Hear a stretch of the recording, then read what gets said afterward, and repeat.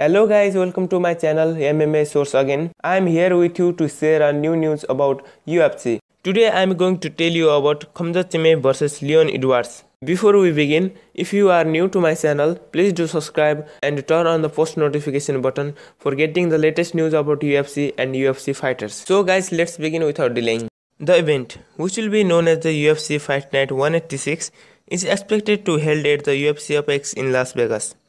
The Edward vs Chimaev bout will take place at 170 pound per Helwani. Edwards owns a career record of 18 wins and 3 losses and is on 8 fight winning streak, while the 26 years old Chimaev is 9 wins with no losses and he has won each of his first 3 UFC bouts. It has been over 1 year since Edwards' last fight when he beat Rafael dos Anjos by unanimous decision in July 2019, although the long layoff wasn't for a lack of trying. There were plans for Edward to face Tyron Woodley in March. However, Edward had to pull out of the fight because of the COVID-19 pandemic since the event was going to be moved from London to United States.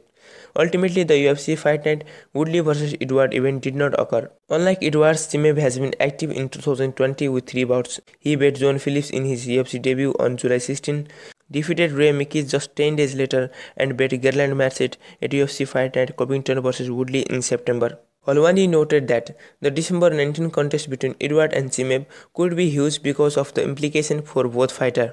He suggested that a win for Edward should lead to the title fight, while a Chimaev victory would legitimize him and possibly put him in the line for a title fight as well.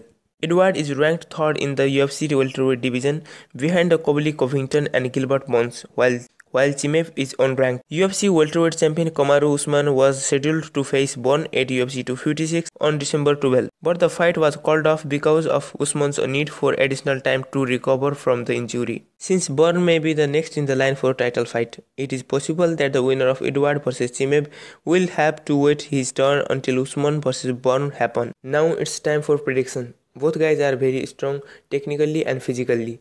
I think Chimaev will continue his undefeated victory over his opponents. He will strike, grapple and wrestle. My assumption is he will finish the fight within third round. Whoever wins this fight, there is no doubt this fight is going to be very interesting. This fight is very important for both Chimaev and Edward because it will lead them to face the champion next. So guys this was the video I had made for you. If you loved it please do subscribe and help me to get 2k subscriber. Thank you. Have a nice day.